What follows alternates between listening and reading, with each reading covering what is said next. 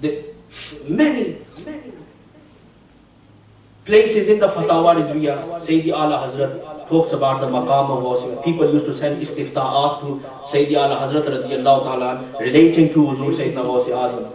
Now, these things, a lot of speakers uh, don't mention, maybe they don't know, some who know will be hesitant to mention this. But Alhamdulillah, Ala Hazrat said this, so I have no hesitation. Somebody sent a question to Sayyidi Ala Hazrat radiallahu ta'ala relating and asking a reference for the liqa, the meeting of Huzur Sayyidina Ghaus Azam radiallahu ta'ala ruh with the Holy Prophet wasalam during the night of Miraj.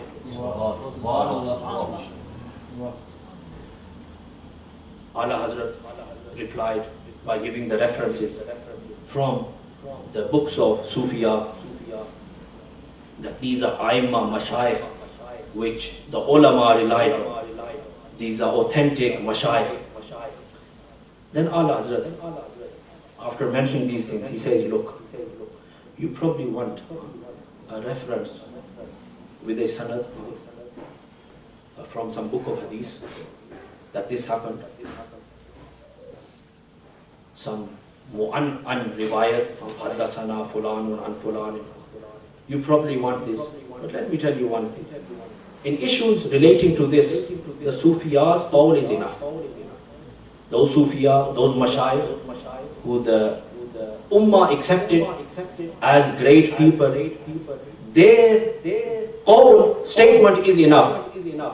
And remember one thing, Sayyidi Allah said this, that, that you know, ulum awliya, ulum awliya is also a science. The knowledge of awliya kiram. And it's a very vast ocean. And Sayyidi Allah Hazrat radiallahu ta'ala said, you know all of your Zahiri ulum, all of these books, all Zahiri ulum, all of your ahadith riwayat books, all of these ulum zahiriya, all of them are less than one part out of the thousand parts of ulum awliya. This is Sayyidi Allah Hazrat saying.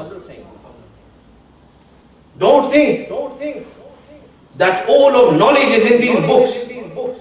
The knowledge is with the awliyaullah. These is less than one part out of a thousand parts. But then something strange must have happened to Allah. I don't know what that was, but Ala Hazrat doesn't. Ala Hazrat is someone who is a truthful person. After mentioning this, he says, at this time, faiz e qadariyat josh mein hai.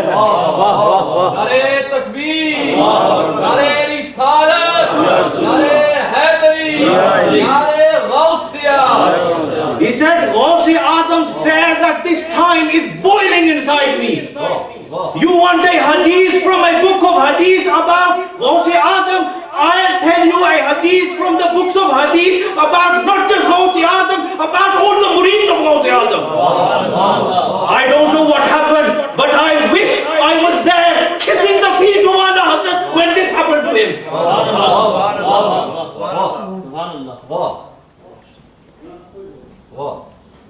He says, You want a hadith? He said, I tell you a hadith from the books of hadith, and according to my research into the books of tens of thousands of hadith, alhamdulillah, this is only due to the faiz of Ghaus Tens of thousands in my life I've read a hadith. Never ever any scholar has interpreted any hadith from a book of hadith, interpreted it the way Ala Hazrat interpreted this. He says when the Holy Prophet ﷺ went to Shabi Isra, Mi'raj, this hadith is mentioned by Ibn Jarir, it's mentioned by Ibn Abi Hatim, it's mentioned by Abu Ya'la, it's mentioned by Ibn Mardaweh, it's mentioned by Imam Bayhaqi, it's mentioned by Ibn Asakir, and the narrator is Hazrat Abu Sa'id Khudri radiallahu ta'ala and it's the long hadith relating to the Mi'raj, that when the Holy Prophet والسلام, went to the seventh heaven, the Holy Prophet والسلام, said, ثُمَّ سَعِدْتُ إِلَى السَّمَاءِ السَّابِعَةِ فَإِذَا أَنَا بِإِبْرَاهِيمَ الْخَلِيلِ مُسْنِدًا زَهْرَهُ إِلَى الْبَيْتِ الْمَعْمُورِ That when I went there, Al-Baytul Ma'mur, I saw Sayyidina Ibrahim alayhi salam, and he was leaning against the Al-Baytul Ma'mur. Then I saw Faiza bi ummati shatrain. I saw two groups of my ummah. All of my ummah was divided into two groups. Shatrun alayhim siyabun bid. One group were those who were wearing white clothes, ka'annah al-qaratis, as though they were pure white people. Pure white clothes. وَشَطْرٌ عَلَيْهِمْ سِيَابٌ رُمْدٌ And then there was the second part, the second group, who were wearing clothes, but rumdun, which is the plural of armad, stained. They had stains on them. They were pure white. فَدَخَلْتُ الْبَيْتَ الْمَعْمُورَ I entered al-Bayt al-Ma'mur. وَدَخَلَ مَعِيَ الَّذِينَ عَلَيْهِمْ السِّيَابُ الْبِيدِ And those of my ummah, the first group who had pure white clothes, they entered with me inside Al-Baytul Ma'mur. And the remaining group whose clothes were slightly stained, were pure white, they were not allowed to enter. But Rasulullah sallallahu alayhi wasallam said, Wahum ala khair. They were also on goodness. But it's clear that the first group had superiority. فصليت أنا ومن معي من المؤمنين في البيت المعمور ثم خرجت أنا ومن معي Then I, with that group who entered, they prayed with me, and then we left. This is the hadith.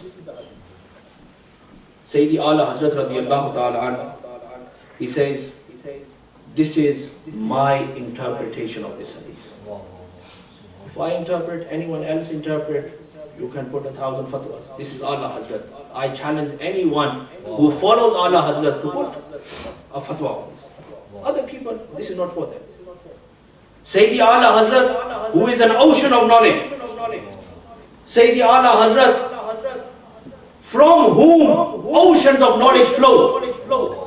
His, his tashrih, interpretation, commentary of this hadith is that you know that first group, that is the group which had Ghosi Azam and all of his murids in it. Ghosi Azam and all of his lovers in it.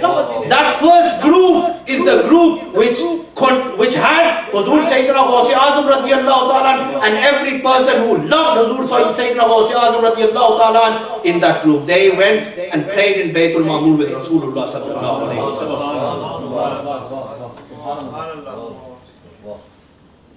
Allah